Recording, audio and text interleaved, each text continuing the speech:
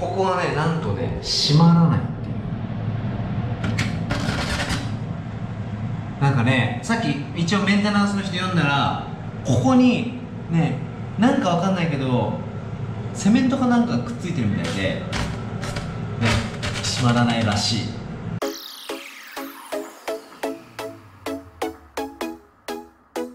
どうもゆうたです。ゆめです。今日はですね僕らがねフィリピンのコンドミニアムを購入しなかった理由をね皆さんにお伝えしようかなと思います。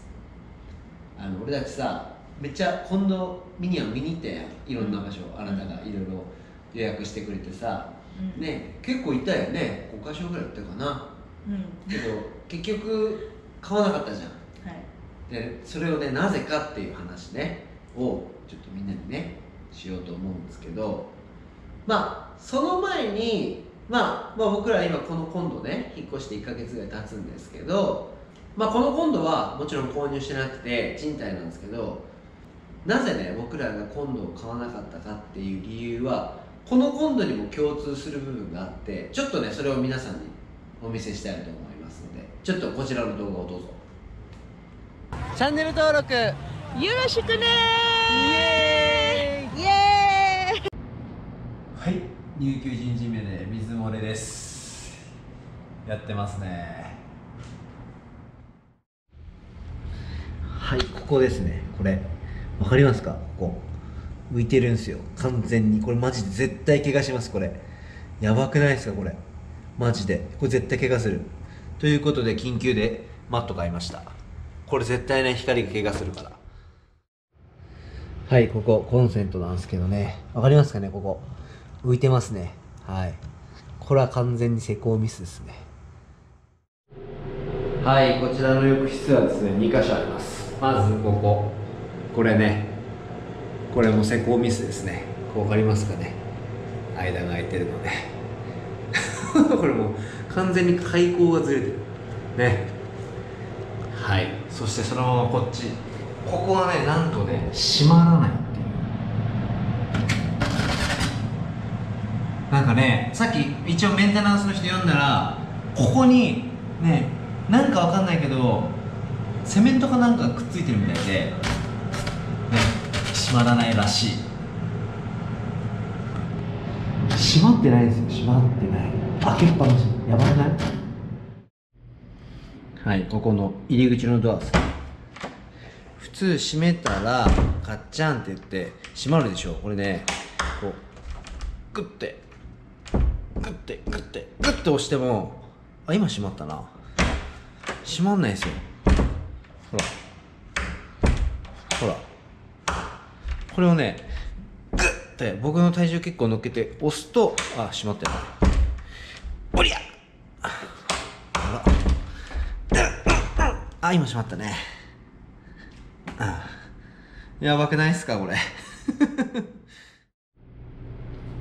えー、設計ミスなのか何なのか分かんないですけどね。夜になると暗い。ここが。光が当たらないっていう。ね。ちょっとこっちの部屋も。わかりますかね。ライトここだけしかないんですよ。めっちゃ暗くなるっていうね。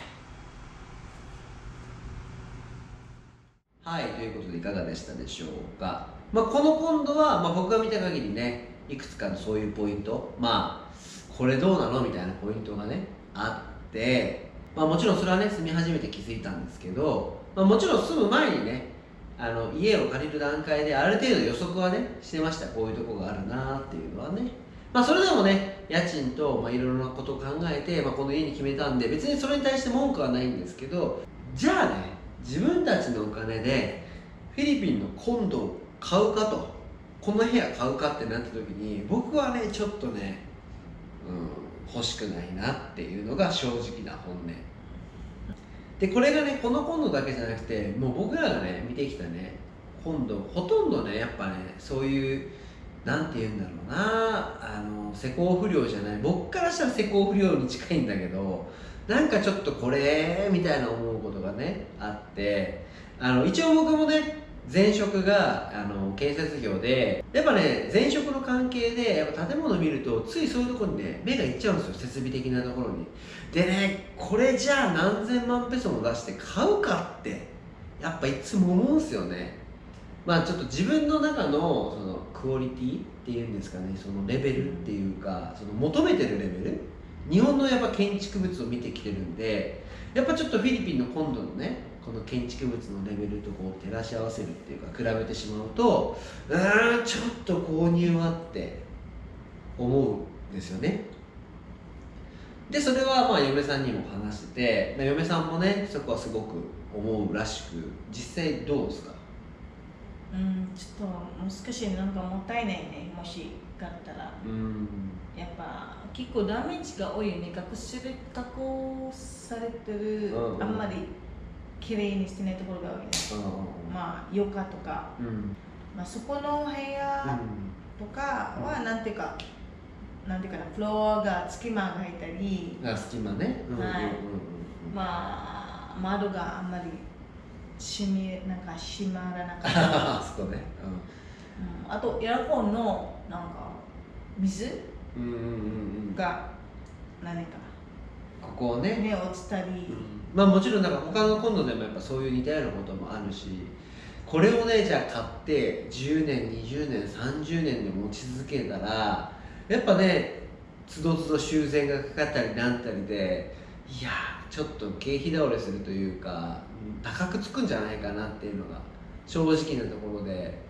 うーんちょっとフィリピンでねやっぱコンドミニアム買ってあの所有し続けるっていうのはちょっとなんか僕の中でね違うなって思って、まあ、今回見送ったんですよね。でまあちょっともうちょっと様子見ようと思ってね他にもまだ建物もあるしまあ僕らの今のとこではまあ一軒家の方がいいんじゃないかなっていう話でね、まあ、ちょっと今度は見送りつつあるんですけどまあね投資としてねあの今度が立ち上がる前に買って例えば1000万ペソで買ってで立ち上がって1500万ペソで売り抜けて、まあ、500万ペソ儲かるみたいなね、まあ、そういう投資的なね感じでやる分は全然いいのかなとも思うんですよね。やっぱフィリピン時価も上がってるし、まあ、実際ですねコンドミニアムの、まあ、なんていうんですかね価格、まあ、1スクエアメーターのね単価っていうのはねこう毎年毎年およそ右肩上がりでやっぱり物価はね上がってってるんで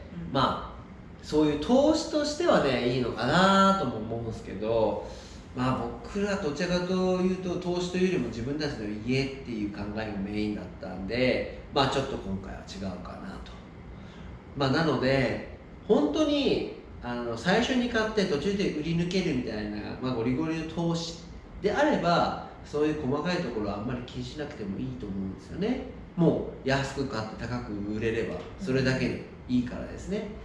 でもやっぱり投資だったとしてもやっぱり自分が住むっていう視点っていうか感覚っていうのも大事なのかなとも思いますしやっぱフィリピンのねコンドミニアムまあ家もそうですけどねやっぱそういった細かいところとかっていうのはやっぱ日本の建築物は全然違うんでやっぱこれからねフィリピンでなんかこう家を買いたいとか今度買いたいとか、まあ、そういうことをね考えられてる方って結構ねいると思うんですけど本当にねあの気をつけられた方がいいと思います。たまにねあのやっぱ投資詐欺みたいなね会う日本人いるんですよね。まあ話聞いたりするんですけどでねやっぱ一番僕が話聞いて一番びっくりする時があってそれがねあの実際にフィリピンに来てこの部屋も見てないのになんか部屋を買おうとする人がいるわけようんうん。もう俺は不思議でたまんないんだけどやっぱね